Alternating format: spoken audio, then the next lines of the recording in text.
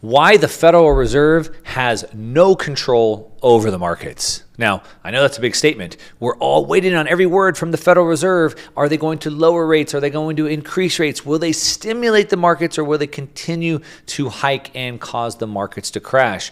But today's guest says that the Federal Reserve has actually no control over the markets. It's completely out of their control. And he's not just nobody, he's one of the most respected voices when it comes to the US dollar and the bigger problem, which is the euro dollar.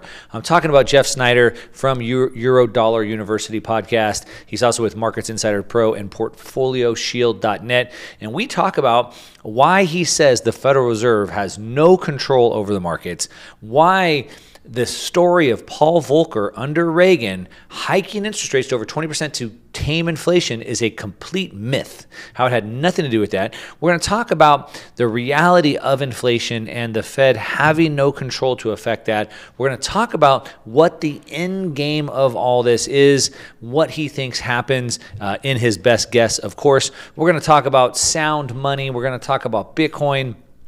We're going to talk about uh, reasons why it may or may not work, uh, what happened throughout history, so many more topics with the absolute legend, Jeff Snider. It was an amazing interview. Let's go ahead and just jump right into it.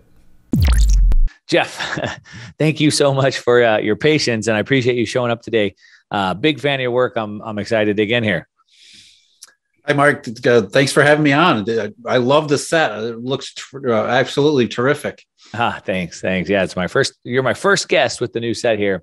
So, um, uh, I guess about a month ago, we were both speaking at a mutual friends conference, George Gammon's conference, Rebel Capitalist Live, and you gave a great presentation. I took a lot of notes, um, and so I've been excited to talk to you ever since. And um, the thing that you were talking about, and I think that you're a little bit mad about, and you want to scream to the whole world about, is that the Federal Reserve has no control. Is that right? Yeah, if you want to boil it down into a single idea, that's probably the, the best way to describe it. So the Federal Reserve is, uh, I think, at, at, the time of this recording, which, uh, by the way, is uh, July 26. I think that tomorrow they're expected to come out with another rate hike. The markets are betting it's going to be 0.75. Some people think yep. it'll be a be one point.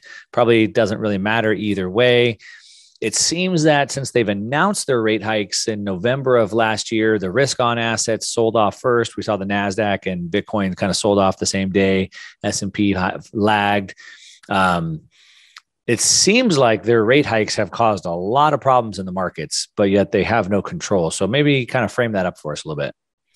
Yeah, and I think that's the issue is is what control do they have? Or control is probably not the right word. It's more of like uh, more like along the lines of influence. And so if we look at what the Fed actually does, let's just let's just get it out of the way from the beginning. They don't print money. There is no money printing. They create balance sheet space, they create bank reserves, but many people believe they print money and as long as people believe they print money, they act as if they have. And one of the ways that that manifests is in the financial services industry and certain asset markets. For example, in 2020, when Jay Powell got on TV and told you he lied to your damn face and said that he printed digital dollars and flooded the world with them. That was a message he intended to send to asset managers to say, I've got your back. Don't worry about it. No matter what's going on in these dark, dark times of COVID, the Federal Reserve has got your back. Now, if it doesn't have your back, but if enough people actually believe it, it becomes a self fulfilling prophecy. And so risk managers buy risky assets because they think, well, hell, Jay Powell is doing something. I don't know what he's doing, but he's doing something. So therefore, I have I can call my clients and tell them we're buying stocks or we're buying risky assets because the Fed is doing some stuff. And so that's what happens. The Fed the Fed has a sentimental effect or a psychological effect, primarily through the financial services industry, but also in other places. And then you get to November of 2021, where the Fed says, we're not going to do the same stuff we've been doing before. Suddenly financial services managers they don't have that protection they don't believe they have the same protection from jay powell. So you have that sentimental effect start to reverse and it becomes self-fulfilling and self-realizing in the other in the opposite direction and the, the from the way that it had, had gone in 2020 and 2021 so without the the ability to to feel like jay powell has got your back because they're going to be hiking interest rates and they're going to be cutting back and scaling and running off their balance sheet. They're, the Fed isn't isn't my buddy anymore. Suddenly, ask, uh, assets look a lot lot more risky than they had before. So this is one area where um, I have a little bit of a disagreement with um, uh, a lot of economists um, because I think they can be factually correct, but maybe a little intellectually dishonest. I don't know if that's the right way to say it. So um, we talk about um, they didn't really do anything, but they had a psychological effect. Well, that is something. uh, right. So then, then it's like you're starting to split hairs. Um, at George's last event, he had uh, Professor. Uh, uh,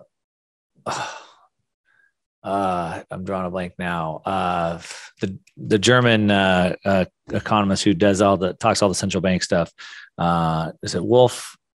anyway, I'm drawing a blank. Sorry, but he gave this great talk about how all this uh, central bank printing through 2008 and 2020 wasn't inflationary. But I said, but stock indexes are up at all time highs, and and house prices are at all time highs. Well, well, that's assets. That's assets. That's not consumer prices. And so it's like it's kind of like splitting hairs a little bit to me. No, but there is a real monetary issue there. And the real monetary issue is that the credit creation that underpinned or supported the previous housing bubble and the credit bubbles of the pre crisis era just disappeared. So, what happened in asset prices post crisis was I mean, you can call it inflation if you want. I don't really care. There was definitely an effect there, but it was non monetary, it was something else entirely. So the real economy has been deprived of credit and money, even if uh, asset prices have done really well. Certain asset classes have obviously done better than others, which has only led to more problems because you have stocks, for example, at all time highs, or they were at all time highs not that long ago, while the economy is in the toilet. And not just in the US, all across the world. The economic growth has fallen off substantially, not coincidentally, ever since this credit, credit machine broke down more than a dozen years ago.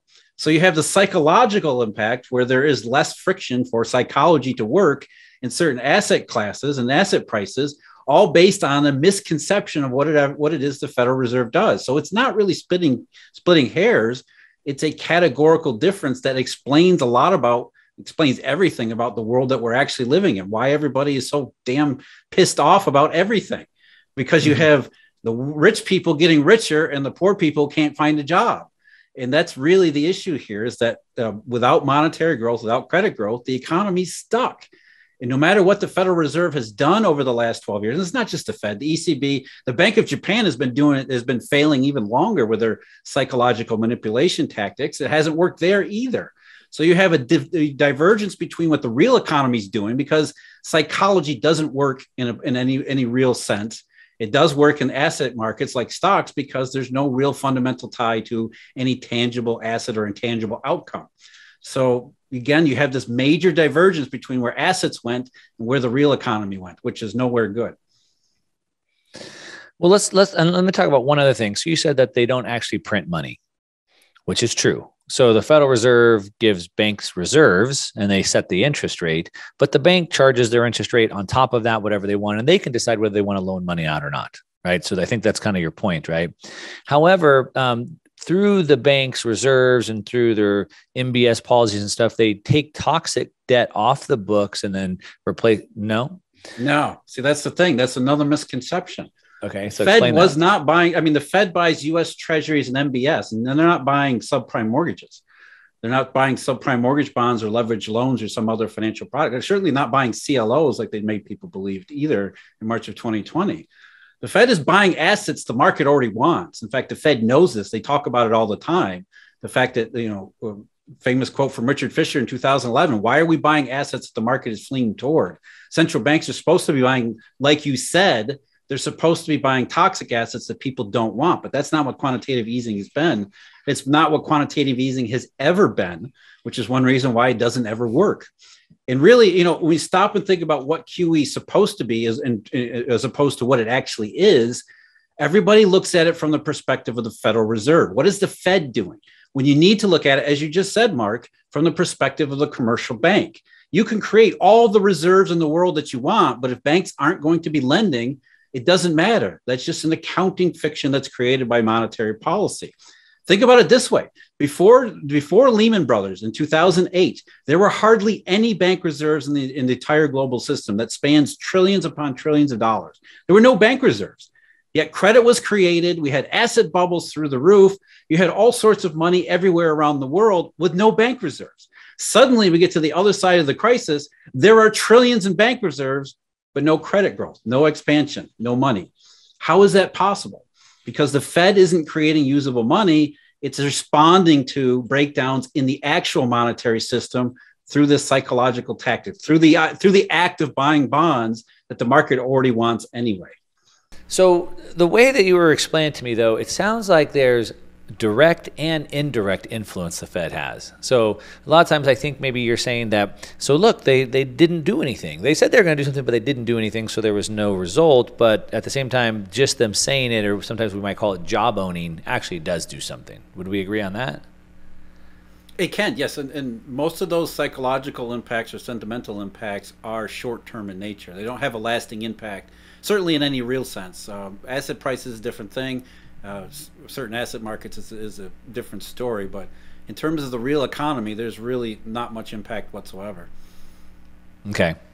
Now, um, another thing that you had talked about at this uh, at this event, uh, the Rebel Capitalist Live, you talked about the Volcker myth, and so everyone is wondering now if the Fed can, uh, if they'll have the stomach to tame inflation, will they raise rates high enough to stomach, you know, to to to finally put an end to this high inflation that we have, um, like Volcker did in the '80s, where he went from 10 to 20 percent. Um, and you had a whole piece saying that that was a complete myth, which continues to back up what you're saying of why the Federal Reserve really has no controls. So let's talk about that Volcker myth and why you think that actually isn't true. He isn't the one that stopped inflation. If if I'm saying that right, if I'm, I'm not putting words in your mouth. Yeah, that's where the Volcker myth actually comes from. The idea that it was Paul Volcker who skyrocketed interest rates in 70, starting in 1979, and that's the reason why the great inflation suddenly stopped. And the funny thing is, if you had if you time travel back to 1979, he would be shocked. And by he, I mean Paul Volcker. They had no idea what they were doing in 79. And this is not something you have to take my word for it. All I got to do is read the transcripts from the FOMC meetings at the time. These people had no clue what they were doing. And the idea that Paul Volcker raising rates, that's not what he did either. But the, the, the idea, the myth that he raised rates and tamed great inflation uh, is, was something that was invented afterward to try and explain what happened in late in the, from the late 70s into the middle 1980s. It was sort of like we have no idea what really happened.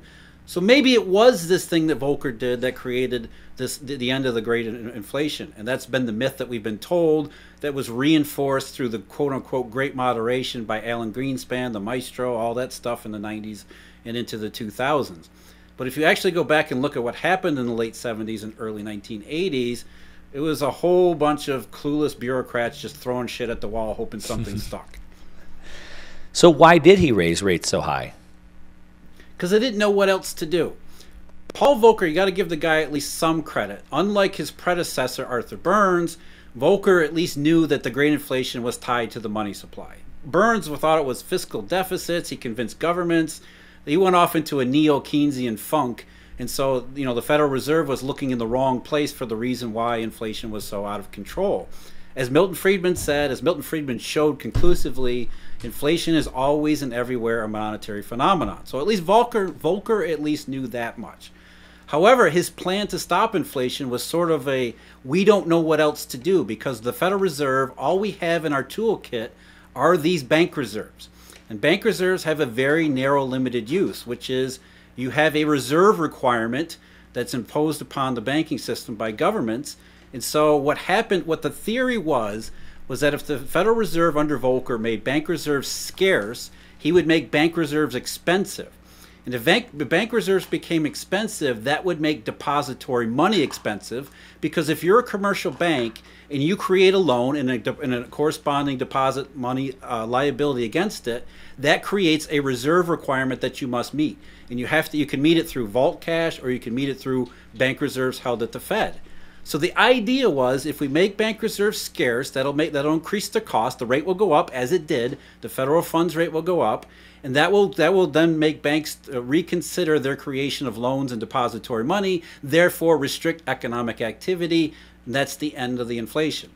That's not how it worked. First of all, the Federal Reserve panicked as soon as they started this this uh, uh restricting reserve regime in 1979. Immediately, the federal funds rate skyrocketed to more than 15 percent which nowadays people think, well, yeah, that was the point. But no, at the time they panicked. Mm. They actually did re- uh, repo programs starting in October of 1979 to put reserves back into the system because they thought they had gone too far. But either way, it didn't matter because no matter what the Federal Reserve did in terms of depriving the system or not depriving the system of bank reserves, it had no impact whatsoever on depository money. It had no impact on M3. It had no impact on the real money, which is the shadow money across the Eurodollar system. That's not what happened. So after it became clear that restricting bank reserves was having no effect on either monetary aggregates or the real economic outcomes, they sort of invented another kind of myth, which was that, okay, Maybe restricting bank reserves didn't cause the end, the end of the Great Reflation. Maybe it was the collateral consequence of having interest rates rise, the federal funds rate rise, that had some kind of impact that we can't explain because it didn't have any kind of monetary impact. It didn't impact the monetary system whatsoever. So maybe the fact that interest rates, short term federal funds rate in particular, went up, that's the reason why the economic outcomes that we all wanted ended up happening. It's simply looking at correlation and, and implying causation that isn't actually there because, again, the Fed at the time realized they couldn't even define, let alone measure, let alone control the monetary system. Now, uh, let's jump. I, I want to talk about where we're at today, but before we jump to there, um, and I guess the, part of the reason why you say they can't really control the monetary system is that the Fed only can control basically the dollars bank reserves. That's it. That's the, that's the one tool that they have. And in the 1970s, before the 1970s, banks invented ways to circumvent the reserve requirements. They invented new ways of doing monetary uh, transactions, things like repo, things like eurodollars, things like currency swaps, that they could just manipulate both the asset and liability side regardless of whatever constraints the Fed tried to impose on them. And in fact, that's one of the things that happened in 1979 and 1980 the Fed tried to make these reserves expensive, therefore making depository money expensive. And so banks just encouraged their customers to shift their assets from their deposit accounts into money market funds.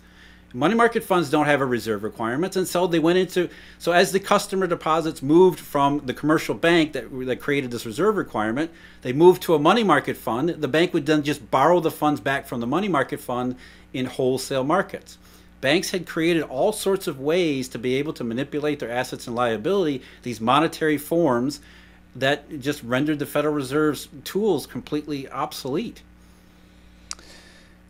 Except for if they don't believe the Fed's going to be behind them supporting them, then they'll get in. Uh, they'll get out of those risky assets, which is where we're at today which is a completely different animal. It's a different animal. So the tools yeah. that their Fed is using don't really do much, but the support that the, the psychological effect of the support, either having it or not having it, does have an effect.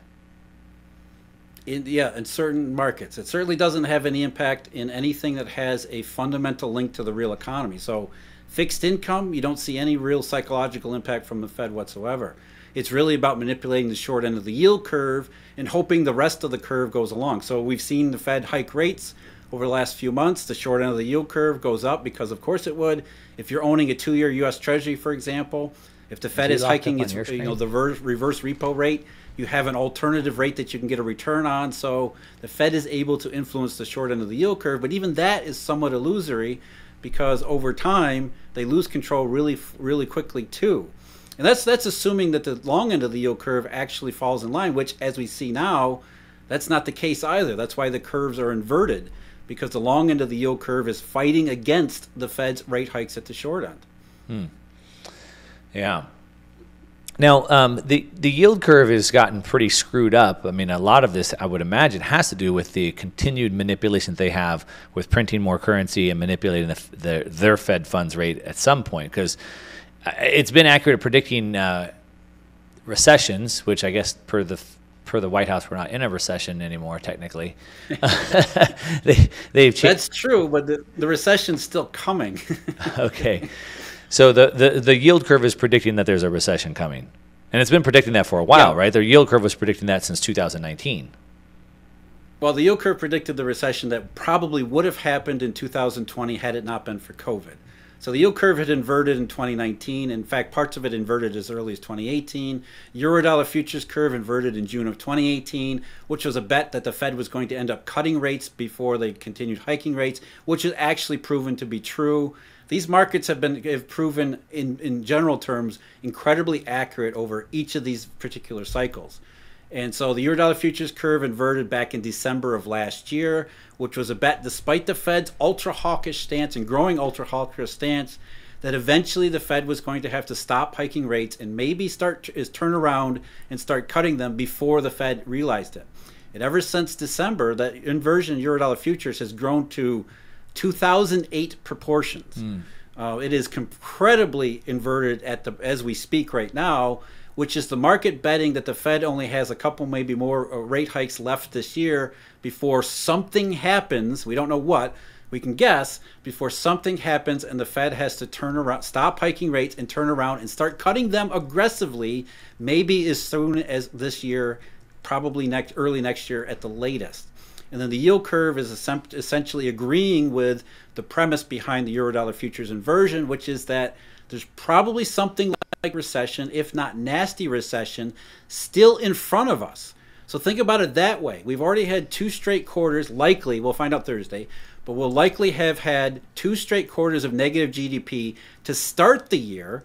And the markets are all uniformly saying that's not the thing we're worried about. Mm. We're worried about what comes after we've already had a technical recession, assuming you believe that that's the definition. So the markets are all positioned for a deflationary monetary condition on top of what might be a pretty nasty recession, too. When you go back and, and look through history, which I know you have many times, um, it seems like it's not the um, it's not the reversal. So when they've been lowering, lowering, lowering, and then they go back to raising, which they're on right now, it's when they reverse back off of that, which is, seems to be kind of the trigger. Is that kind of what you're saying? The markets are kind of seeing that in in the in the forefront and that's the trigger that they're well, afraid of. In some of? ways, the the long long of these curves are simply ignoring the Fed entirely.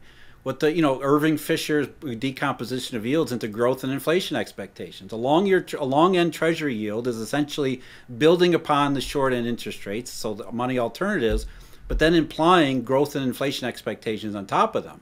And so what the what the curves are telling us, and they have been telling us all year, is they disagree with the very premise behind the Fed's rate hikes to begin with that the economy is not overheating, the labor market is not in any great situation, and that the, the rate hikes to quote unquote end inflation aren't necessary because the recession that the market is afraid of is the instrument that will end inflation, that will end consumer prices. And it will likely result in uh, renewed disinflation, if not deflation, at least in the intermediate term. So the markets, especially along into the yield curves outside of the Fed's window, out, same thing with Eurodollar futures. The, the markets have been betting against rate hikes from the very beginning. Hmm. Now, uh, I want to get into this end game, the few hikes before it breaks. You said we can guess at what breaks, and we'll, we'll get back to that. But um, you had also talked about how really what we have is a problem um, that that signals these uh, these crashes, these recessions, is these dollar shortages that happen all over the world. And I think that's pro- probably where we're at. Yeah, right. and that's we have a dollar shortage right now, which is why the DXY's shooting so high. So explain this dollar shortage over right. the world to us. That's the hardest part for people to come to terms with because, as you said, Mark, I mean, you see the Fed's balance sheet go up, you see there's trillions upon trillions of bank reserves, and you assume that bank reserves are useful money. In fact, some people call them base money. And if you see the Fed's balance sheet skyrocket, you see all these trillions of reserves suddenly appear out of thin air, you think a lot of money has been printed. So, how in the world could we possibly have a dollar shortage when the Fed has created all these dollars? And the answer is simply when you realize that bank reserves are not useful money and the Fed is simply create they're just a byproduct of quantitative easing, um, then you can okay, the Fed isn't part of the monetary system. Bank reserves are not really useful money. What actually is useful money is telling you that there is nothing there's a dollar shortage and it's getting worse and worse all the time. And we see this in any number of ways.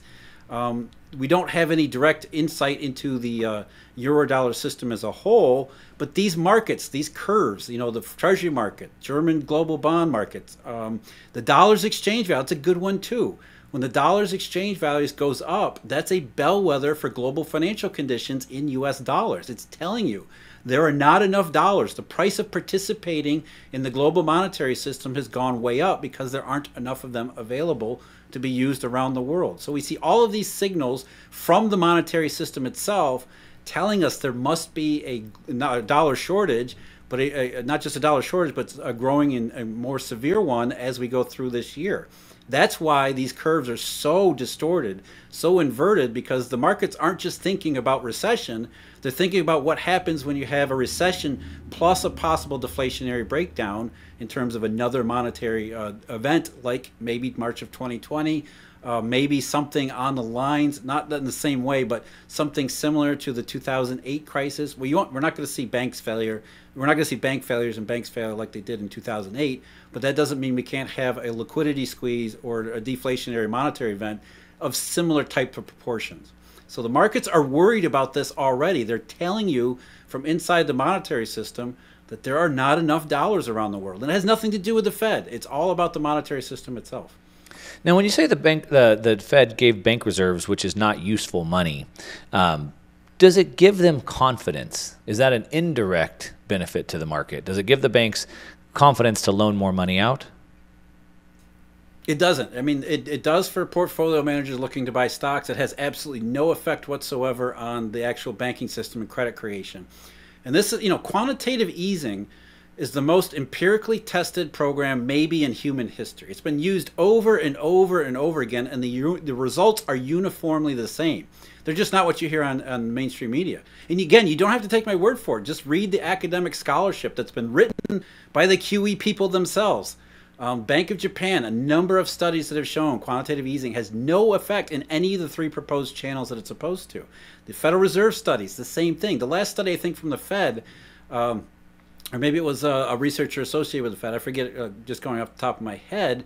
They said that a $600 billion QE program that targeted specifically U.S. Treasury buying would we maybe should expect about 15 basis points of effect on the 10-year U.S. Treasury. Think about that. 600 billion in Treasury buying lowers the 10-year Treasury yield by 15 basis points. That's basically a rounding error if it's statistically significant at all. So what I'm saying is that quantitative easing has no effect on the real economy because it has no effect on banks. The banking system is constrained by its own uh, internal as well as external parameters that have been doesn't matter what the Fed does. There's no no amount of jawboning or psychological manipulation or you know the Fed being your best friend because it's buying bonds has been able to get banks in the US, in Europe, in Japan for 30 years out of the same rut. Credit creation does not correspond to bank reserves or Federal Reserve policies, which is the very lesson that Paul Volcker learned 40 years ago.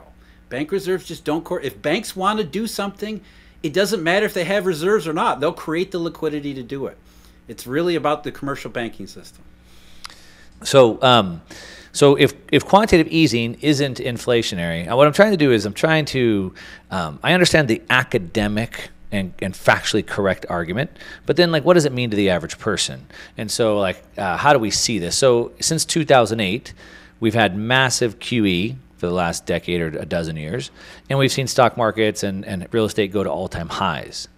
And so even if that hasn't affected the commercial banks to create more money um, has it led into a wealth effect where my stock account, my retirement account's higher, my house is higher, I spend more money that's inflationary? Today we're seeing the opposite of that. Even though they haven't really done anything, people feel less wealthy today. They're spending less money. So if we if we if we, if we don't look at just the purely, you know, uh, like I said, uh, effects, uh, or if we take the total effects together, I mean, is there some causation or correlation there?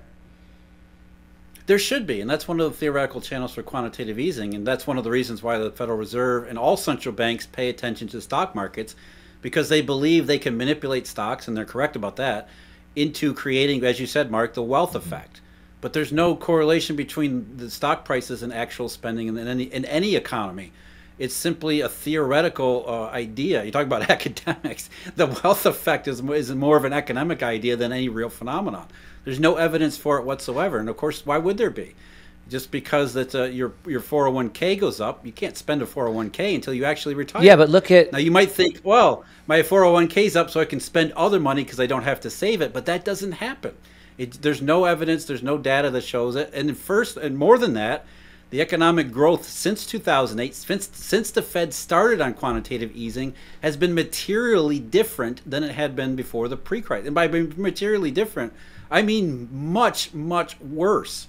So if there is a wealth effect, then it is is not only undetectable, it's led us into a worse situation than we would have been had nothing happened in 2008. Mm. I, I don't know if I agree with that. And, and some of it is just gut, right? So, like myself included, like I'm not going to retire for a long time. But right now, the way the markets are right now, like I'm second guessing vacations. I'm second guessing adding on to my house like I was going to. Because, like, ooh, we, like you said, the yield curve showing there could be something there. I'm spending less money. So, how do we measure that? I don't know. But I do know there is some measurement. So, for example, we saw last year, we saw record amounts of job quits record amounts, and we broke it month after month. And why were those people quitting jobs? Well, a lot of polls showed they were going to trade options on Robinhood and trade cryptocurrencies, and so that yeah, that did cause a wealth effect, and that was measurable, right? And that's an anecdote. It's not nationally data. Okay. Um, yes, there were. You know, the, the the sad fact of the matter is the labor market is not as robust as it would seem from that metric because according to the establishment survey or any of the survey, the, the labor market da- data, um, we have fewer jobs today than we did in February of 2020. Mm-hmm. Um, so you can blame that on the Great Resignation, the so-called Great Resignation, but it also could be, and I think it is, consistent with what markets are telling us, not stock markets, but other markets are telling us that there was no wealth effect, and that we're picking and choosing anecdotes that fit preconceived narratives. The idea that the Fed created this bubble when the Fed really didn't do much of anything. Uh, the real economy suffered for the 2020 breakdown. I mean, of course it did. We put how many small businesses out of work or out of business in 2020? Did we really think that we were going to have a robust recovery from that? Just on that alone. Um, and so that's what the markets are telling us, and that's what the data tells us with the fact that we have fewer jobs. The participation rate took another leg down. These are similar types of, of results that we saw in the aftermath of the first financial crisis in 2009 and 2010.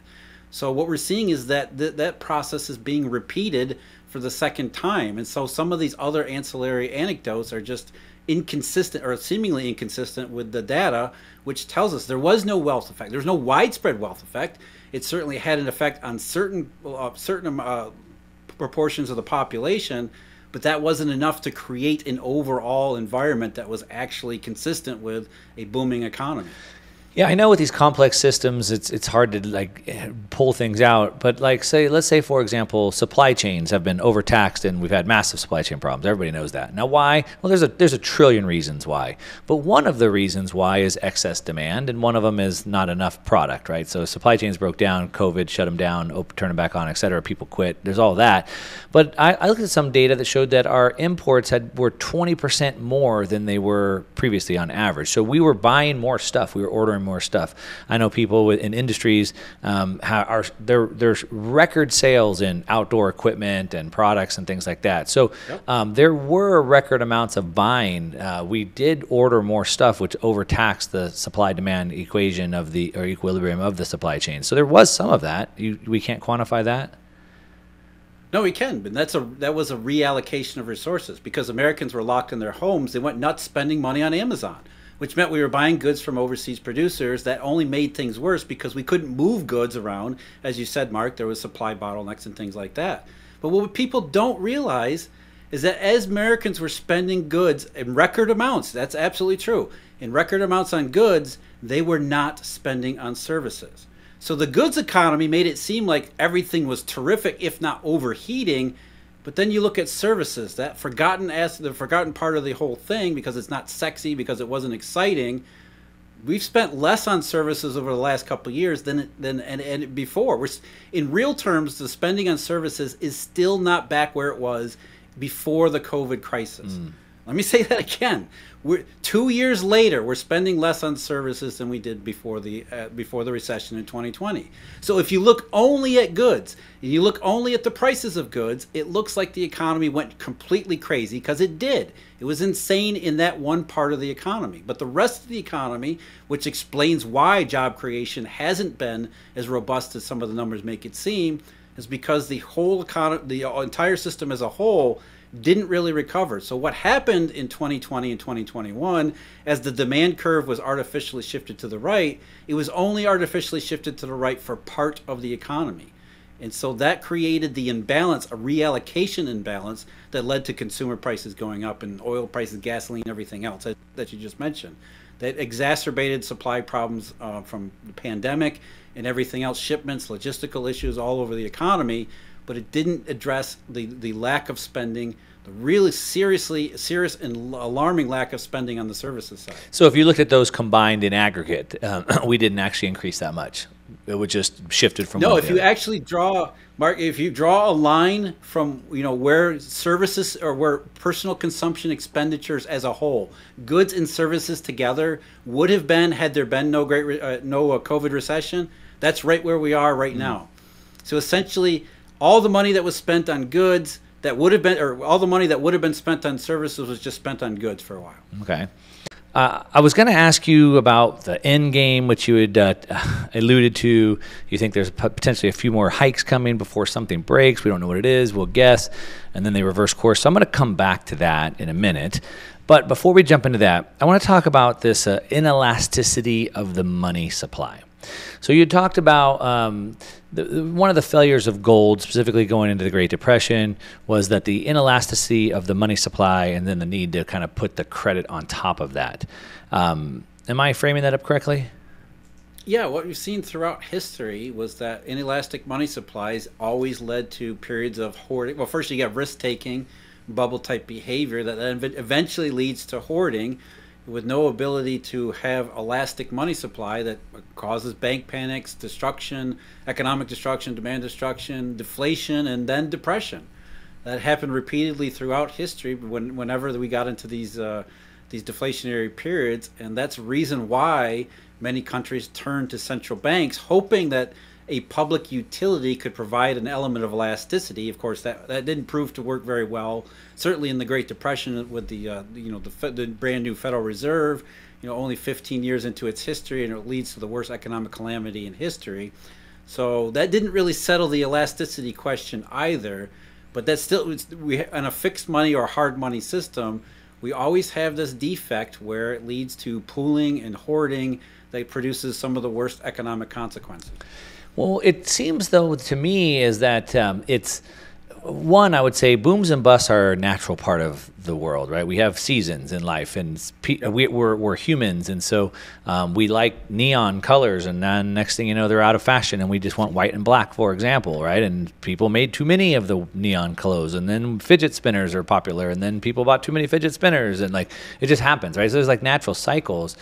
And it seems like it's the creation of the money supply that creates this this artificial boom and then it's the restriction of the supply not continuing to grow at the same pace almost like a ponzi scheme that then seems to crash it. And so maybe on a hard money system we would still have booms and busts which we've seen throughout hundreds of years of history but those booms and busts are small in comparison to the ever growing booms and busts that we have now under these artificially stimulated bubbles yeah, I, that's a tough question. It's in some in some ways it's a counterfactual because you can't go back and redo historical depressions and see how it worked out under, under different circumstances. But as you said, Mark, the, the, there is a an, an, innate human boom and bust cycle built within us, and I don't think we'll ever uh, ever solve that problem because there is no way to solve that problem unless humans can start working from perfect future information. Unless we do get crystal balls where we can tell the future, there's always going to be, as you said, there's always going to be cycles in fashion. There's going to be cycles in building. Uh, there's going to be too much risk taking, mm-hmm. whatever. And I think and I fear most people nowadays have confused and conflated inelasticity or elasticity with something like too big to fail, which is, you know, sort of the quasi haphazard program that Ben Bernanke's Fed tried to put together in the wake of the first financial crisis. That's not elasticity. That was something else entirely. Elasticity is that when we go into a bust cycle, that we don't end up with a monetary shortage that then produces deflation. You can still have a bust cycle without the deflation that leads to the necessary um, uh, creative destruction, as Schumpeter mm-hmm. called it. We still want that to happen. We still want bad banks that have bad ideas, they give out bad loans to bad people. We want them to right. go out of business. But what we don't want to have happen, and what does happen during these deflationary depressions, is that when bad banks go out of business, it leads to good banks going out of business and good businesses going out of business at the same time because money becomes too dear. Everybody holds on to money, and there's not enough liquidity in the economy that bad banks and good banks alike end up going out of business, which harms the economy not just in the short run, but the long run. So, the idea behind elasticity, the real idea behind elasticity, not too big to fail, is that we sort the good from the bad. And the only way to do that is to make sure the good good firms and good banks have enough money, have enough liquidity available that they can survive any bust cycle. That's what Walter Bagehot was talking about in the 19th century from the Bank of England. You know, you lend freely at high rates on good collateral. That was that was the, that was the central bank dictum of elasticity in currency. Now, central banks nowadays don't do that because they can't. They can't even define elasticity, or they can't even define liquidity, let alone create elasticity. But still, that's the idea that I think that we need to be uh, come to terms with is that elasticity doesn't mean too big to fail. It means limiting the downside to only those who made big mistakes. Where would you put yourself um, from an uh, economist viewpoint, like an Austrian economist view, and then maybe the opposite being a Keynesian kind of view? Uh, where do you, where would you say? Are you somewhere in the middle? Are you would you consider yourself Austrian, Keynesian, or how, how do you think about that? I first of all, I'm not an economist. I'm just talking about your view. I'm talking about your viewpoint. That. Right. Yeah, I'm not economist either, but I align know, with the Austrians. Of, but I'm not economist either. No, that's. I think being not being an economist is actually helpful because part of the problem is that you find yourself in a box. I've been accused of being a Keynesian, a monetarist, an Austrian, a Marxist, pretty much anything around uh, around the spectrum. I would I would like to think of myself as just a realist. Um, I started out with Austrian sympathies, hard money, gold standard, free market capitalism, and you just can't get over the history of what happens when you get into these deflationary depressions, which is the worst of the worst mm-hmm. case. So for I, you know, I disagree with most of what Keynes said about some of the uh, implications and what what government should do in the wake of deflationary crisis. But yet you can't argue with how Keynes framed at least the deflationary disease. He called it the worst evil there is because in a deflationary depression, the deflation, the, the consequences of that deflationary depression fall mostly on workers. So the poorest members of society are the ones who suffer in these worst cases. So we have a very vested interest as a society and a system to make sure that we don't have deflationary depression. So if that makes me a monetarist, I don't care. If that makes me uh, uh, certainly not an Austrian, but you know, sympathies for some of these other uh, schools and doctrines, I think most of them have have at least some good ideas that you should listen to. But I I really think part of the problem here is that everybody gets very rigidly doctrinaire and ideological and stops thinking about and thinking about things in terms of evidence and actual history. Yeah, uh, just you had said that um, in you know you do believe banks should be able to fail and wash out the bad ones and creative destruction. I agree with that. But then you talked about the in, in, a, deflationary event that the good banks go out of business with the bad banks, and uh, we just recently saw this in the crypto markets, right? Where uh, well, we saw in 2008, obviously with the, with the investment banks, and recently in the crypto markets, and a lot of it that is because the contagion that's taken. So too much leverage built up in the system system, uh, the contagion because they're all um, you know doing loans with each other, and so when one goes down, then they lose that uh, those assets and it dominoes the whole thing. And so um, in a uh, it's the leverage that seems to be the problem. And so in a system where we didn't have all this in, uh, in monetary inflation um, and we didn't have all this leverage that built up and we had banks that were on full reserve, for example, then those banks wouldn't go out of business. They wouldn't be subject to the mistakes that those. And you would never have economic growth be, because of the inelasticity of the money supply. the upside. Yeah, because that's the thing. I think that's the other part of this that we're forgetting is that you know we live in a dynamic world where demand for money is not static. Demand for money changes. And I'm talking about legitimate demand, not just speculative demand. Legit, legitimate demand rises and falls, and we're supposed to be able to to to, uh, to um, get a sense of that by the you know interest rates, for example. If there's legitimate demand for money, I know legitimate is a sort of a weasel word here. It's doing a lot of work, but legitimate demand for money goes up. You know, do we really want the price of money to skyrocket because it's fixed? If there's legitimate demand for money for legitimately productive and sustainable purposes, why wouldn't we want the dynamic money supply on the supply side to be able to meet that demand for money without causing frictions and harms and inefficiencies? So if you have a fixed money system where you don't dynamically meet demand, two things happen. One thing is you'll get lack of economic growth, and the second thing is the commercial system will invent new ways of new forms of money to circumvent the hard money, uh, the hard money cap, so to speak. This has happened throughout. I mean, the eurodollar system itself was an answer to Triffin's paradox because Triffin's paradox wasn't really a paradox. It was simply the, the international reserve system under Bretton Woods was incapable of, re, of meeting rising global demand for money in a dynamic setting. So I don't, you know, I don't agree that um, demand for money or uh, the uh, supply of money needs to be fixed in order to make sure that we don't ever have an asset bubble. Because, like I said, I think business cycles happen anyway. They're going to happen regardless of whether or not there's fixed money or not. You saw that all throughout the 19th century on the, the best of the best, the classical gold standard. There were bubbles everywhere. It happens. It's it's it's a flaw in human nature, not in the monetary. Right, system. and I would agree with that. They they happen, and, and that's a problem that we see all throughout the world today. Um, for example, with uh, look at the rise of antidepressants use, especially in the United States. For example, well, like uh, you need, you know, without, we, we can't always just be happy 100% of the time. Like we have to have pain in order to know joy, for example, right? uh, how, how do we know the happiest time of our life if we don't have sad times and things like that? And so uh, a lot of that. Uh, but but jumping back, staying staying on track here with the money supply. So um, like with Bitcoin, you, have mentioned many times, and I've seen your interviews with uh, one of my good buddies, Robert Breedlove.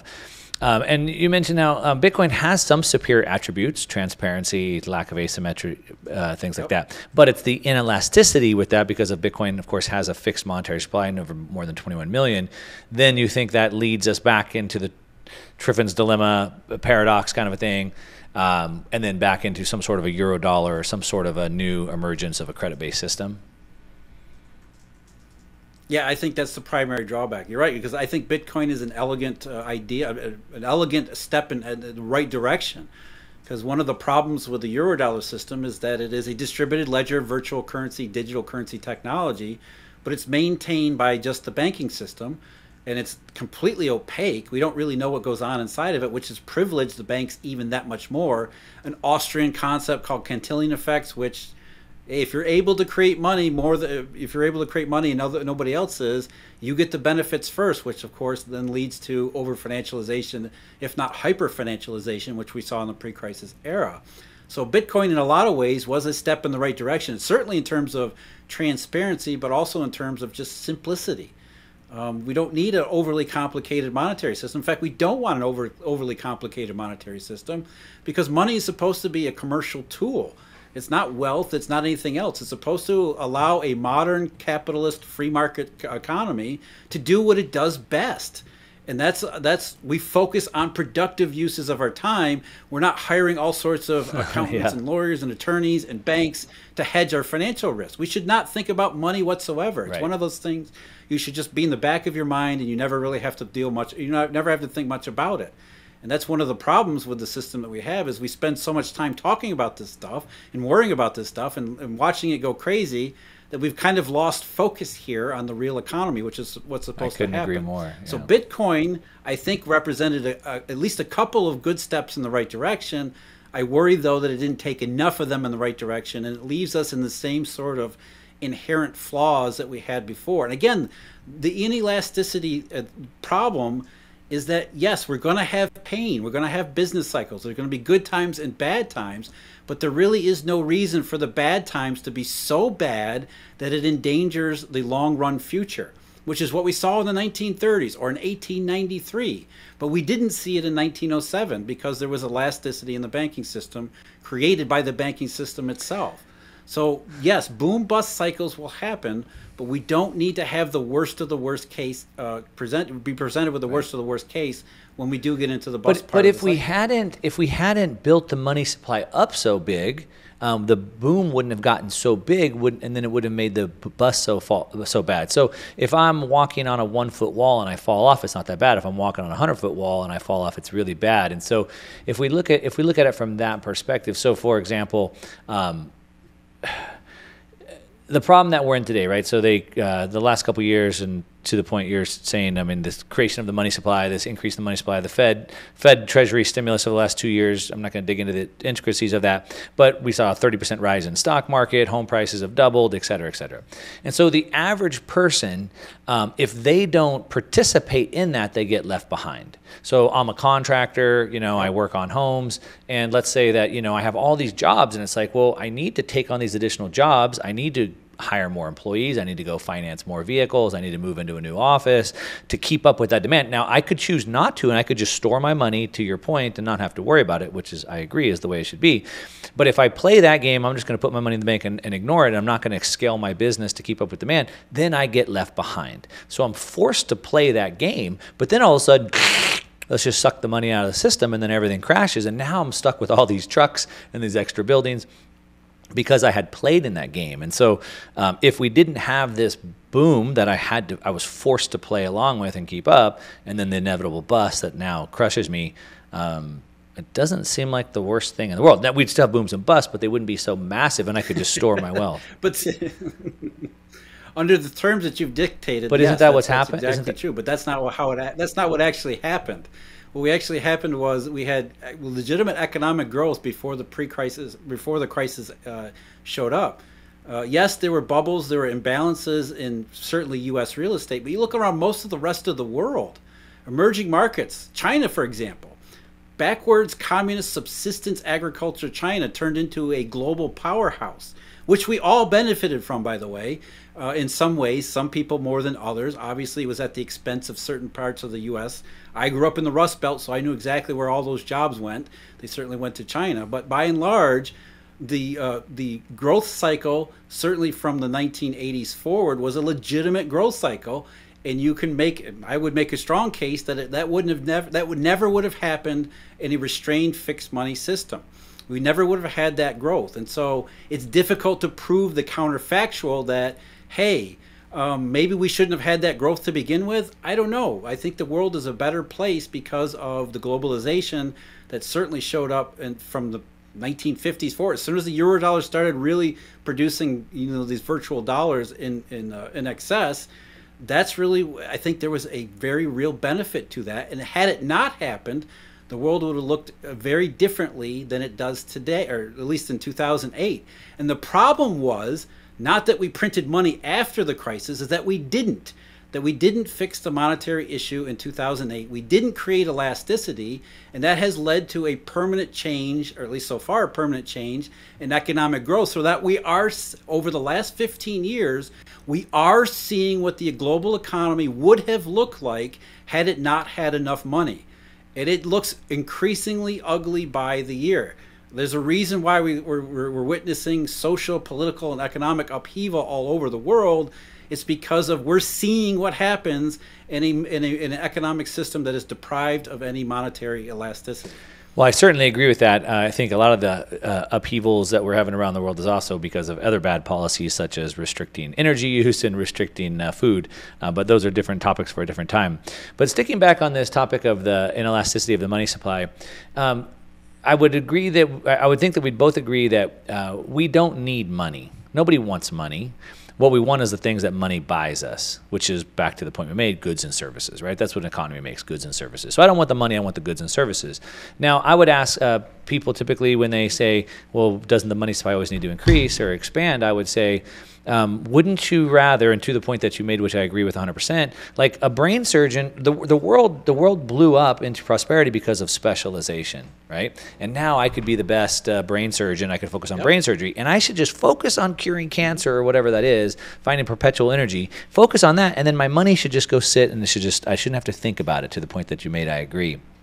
And so then I would just ask the average person, wouldn't you or would you rather your money that you've saved today buy you more goods and services in the future or less? And I think everybody agrees they would want their money to buy them more goods and services, not less. But through an inflationary system, the money continues to buy us less and less goods and services. And so if we look at what we really want as goods and services, the money is a proxy of that, so a, a medium of exchange for that. So we have all the wealth of the world, all the goods and services of the world divided by the money and if we're trying to keep the money at one, uh, then all the value goes to the goods and service, so everything gets more expensive. But if we had a fixed money supply, then the value could accrue to the money and the goods and services would go down. Am I seeing that right? In theory. In theory, yes. The problem is it leads to all these similar boom bust cycles. But not if we not if we don't. Sure, it looks good in, in terms of prices, but what happens when everybody's thrown out of work? That's really the issue here. Is that yeah, okay, so my money buys me more on the other side of a crisis, but I also don't have a job today. So that's not a really good trade-off by any stretch of the yeah. imagination particularly when those who are thrown out of the work are the most vulnerable in society and you do that enough times and then you end up with what we're seeing now which is increasing uh, discontent extremism mm-hmm. and anarchy mm-hmm. Okay, and to your point, we don't we don't know. We don't have a uh, we, we don't have an A/B test to really run. Although we do have five thousand years of history without a fiat money system, so we do kind of have that. And to your point, there are booms and busts because cycles change, creative destruction happens, uh, but we don't have the massive amount of misallocation that we would have today. Um, but again, we don't really have that. I guess what I would say then is, um, what problems would a Bitcoin underwritten capital market need to solve? In order to be viable in your mind? Well, first of all, it has to have a wide enough base so it's wide enough. It could be used in a wide, widespread. Uh, it needs to be. That's really what a global reserve currency is. And that's what we're talking about, right, Mark? You look at it, Bitcoin, not just for a niche use. You want it to be a medium of exchange, not just a store of value, but a medium, of, a useful medium of exchange that can be used in enough places that it becomes a useful medium of exchange. So, it's sort of like a self-fulfilling prophecy there. That's what a global reserve currency actually means. It means it's available, freely usable, and widely used in, a, in, a, in a, as many places and as many circumstances as it could possibly do. And a fixed monetary system makes that incredibly difficult, especially when it's not widely distributed. And let's face it, money, money is always going to pool. It's always going to tend up. It's always going to end up in fewer and fewer hands because that's how free market capitalism works successful people are going to end up with more money in their hands. And what ends up happening in that situation is you need some form of financialization to get that money moving back into the real economy. So you can't escape financialization unless you're willing to go back to a completely 100% commodity physically owned system or the digital equivalent of that, which means you're actually reducing the potential of that economic system. So Bitcoin, I think, has a couple problems, including what happens when it's hoarded as well as is there enough of it to be used in a widely uh, widely used across enough places in the real economy. And of course, geography is another part of another yeah. issue as well. So a couple things. So one, to your point, sure, it has to be widely accepted, right? So money has to have a bunch of attributes, five of them that I really like to key on, but one of them, of course, is saleable, right? You know, recognizable. People have to be willing to take it. And so to your point today, right? I mean, it's it's very small, but we're a, a dozen years into it. So I, I, believe money is like an evolution. If we look through the history of money, it's evolutionary, it's emergent, right? So uh, we used rocks and feathers and seashells and all these things, uh, but one emerged as the best because it had the best money money properties. Um, and so I think, you know, there's like a store, like a collectible. Oh, this is kind of cool. Like I'll hang on to this feather, this rock. And then eventually maybe that collectible maybe evolves into a store of value. So we see the wealth holding fine art and cars and things like that. But those don't have money attributes. And so maybe a store value could then evolve to a, a medium of exchange. Uh, and I'm, I'm happy to admit that I don't think Bitcoin is the best medium of exchange today. It's certainly too volatile to be paying your bills with on a monthly basis, and, and it hasn't reached that wide scale adoption to your point. So I think there's an evolutionary path, um, but it does have the attributes, I think, for it. The one thing I would just point out, and, and I'm sure you're probably aware, but uh, you know, one, one of the many uh, things with Bitcoin is that it's the first, uh, first asset, the first commodity that doesn't need debt to reach velocity right? So gold is very slow, right? It's not portable. I can't send it to England very fast or, or, over over Zoom to you right now. And so we had to add the debt on top of it in order to get the velocity. But Bitcoin has velocity with a bearer instrument, which is which is pretty interesting. Um, but anyway, so back to the question. So I guess t- I, you, you answered my question. So the what it would need to solve was it would need to be more widely accepted. I guess was the point. Uh, more, More widely, widely usable. usable. and and me- usable meaning more people are able to use it. Right? It's Yeah. it's friendly enough and easy enough. Yeah, not just the, more people, uh, people in all kinds, all types of use cases. Okay, got it. Yeah. Okay. Good. Um, now let's jump back to the final uh, discussion here uh, that you had set up earlier. It wasn't on my list of questions, but you talked about you know maybe, or I'm framing it up as as this end game. So you said the yield curves are predict, predicting that you know there's probably one more pivot in front of us. That's where they're really worried. Um, you had said that maybe there's a few rate hikes before something breaks. Um, I don't know if you had said, or maybe this is where I think, but probably before the end of this year, we'll probably see that um, before something breaks and then they reverse course. We don't know what that is. We can only speculate. What would you What do you think is the base case of speculation? I know we're only talking in terms of probabilities here. Um, credit markets dry up, or what do you What do you see there? Yeah, there's a lot of potential potential sparks or potential shocks that we could go through. I think we already did when oil prices skyrocketed in early March. I think that was the trigger for what we're seeing in terms of a base case recession. So the first half of the year, technical recession, as you said, Mark, that's that's that's completely a distraction. That's not re- really. Markets are not worried about what's already happened. They're worried about what's coming next. And what's coming next looks like okay, we start with a recession, but there are also any number of problems from geopolitics to money itself. A big part of the monetary system is repo and collateralized transactions and derivatives, things like currency swaps. And believe it or not, there's just not enough good quality collateral to go around. And so we get into these situations where dealers in particular become risk averse. Certain junk quality collateral becomes less negotiable. It acts every bit as if a monetary system was being tightened from the inside. And so I think one of the things that is, is forcing these curves to be as, as inverted as they are is concerns about a collateral run as we saw in March of 2020 and again in 2007 and 2008 because we've been stuck in this collateral shortage situation for the last 15 years and it has never really been handled and it, is it leaves the system i mean the global financial system as well as the economy in a precarious situation when it becomes you know when we get into these risk averse situations where collateral becomes scarce so i think collateral shortages which are prominent in every marketplace that we see, especially you know, something like treasury bills, repo fails. And again, the U.S. dollar skyrocketing. Why is it going up? Because there's problems in the in the collateral system. That's part of what's going on. And then um, the other part of it is something like geopolitics. What if the Russians do Yeah. turn off gas to Europe? Looks like in they the are, wintertime? yeah. What is Yeah. that going to look like for the world? I mean, that's something that I, if I was, you know, running a massive portfolio of hundreds and hundreds of billions, I would probably want to hedge against something like that happening. Or not just gas to Europe. How about food to the Middle East?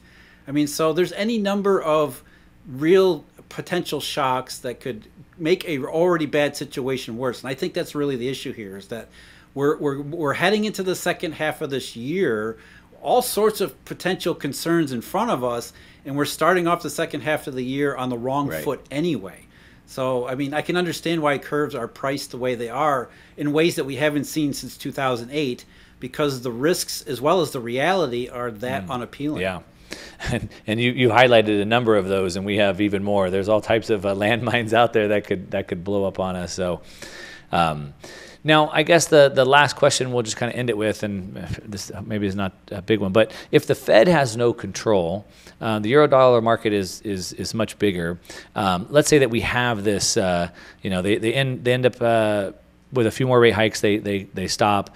Uh, we have any of these uh, significant events that could happen to the points you said with the the food crisis, the energy crisis. Those are two big looming ones. Another potential pandemic lockdown that seems to be rearing its head again potentially. Um, then the Fed would have to reverse its course and would try to do something. Which, to your point, maybe they can't. But if it was whatever 700 billion in 2008, it was six seven trillion in 2020. I mean, is the next one 10, 20 trillion? And will that have any effect? Can they even keep the bubble from deleveraging? I think the next one is. I think that what the Fed will look at is not so much size. Uh, sort of take a, a playbook because everybody follows the Bank of Japan anyway. I think what they do is they take a page out of Bank of Japan's book where they say, okay, we've bought treasuries, we've bought MBS in the past. That didn't really have much of an effect. Maybe this time we're going to actually buy corporate bonds. I know they, they pretended to in, in 2020. They didn't actually buy many. They'll actually buy corporate bonds. They'll start buying ETFs. They'll start buying different asset classes because this is all about psychology. This is all about trying to shock the system in ways that the Fed wants the system to be shocked. So I think rather than rather than seeing an uh, increase in size of quantitative easing, you'll see like Japan where they'll it, they'll add to the target uh, the list of targets for mm. asset purchases. Okay, all right, more strategic. All right. Well, Jeff, uh, it's been an amazing interview. Uh, or, or just again, just like Volcker, throwing something against the wall and hoping yeah, it, yeah. It, it, works. Well, uh, man, there's so much more we could go on with, but we we've gone super long. I appreciate you taking the time, and uh, to, to everyone listening, we had some uh, some frustrations with my on my end on the recording, so I appreciate your patience with that, Jeff. Um, I know you do the Eurodollar University podcast, which I listen to, and uh, I recommend everybody check that out. We'll link to that below marketsinsiderpro.com and portfolio, portfolioshield.net, I believe, are two other projects you're working on. We'll link to those. Um, anything else that you want to call out? I, I, I write at uh, different places too, Real Clear Markets, Epoch Times. So, you know, you can find the research anywhere around the research, writing, commentary. Yeah, you are all over the internet right now, and it's never been uh, been more important to understand how that works. So, anyway, Jeff, we'll go ahead and end it with that. Thanks so much for uh, for coming on today. My pleasure, Mark. Thanks for the invitation. Right, I really appreciate it. All right, that's a wrap. Thanks for listening to this interview with Jeff Snider. We covered a lot of topics, uh, a lot of topics that are maybe eh, not so much conspiratorial or controversial, but definitely outside the mainstream view. The Volcker myth. The Fed has no control. Do you agree? I'd love to hear your input down below. Of course, check him out, Jeff Snider at the Eurodollar University podcast. We'll have all his links down below. As always, give me thumbs up if you like the video. Hit that subscribe button and the bell notifications to know when we put new videos out. And that's what I got for you today. All right, to your success. I'm out. Since you've stayed to the end, I know you like this video, which means you're probably gonna really like this video right here and this video right here.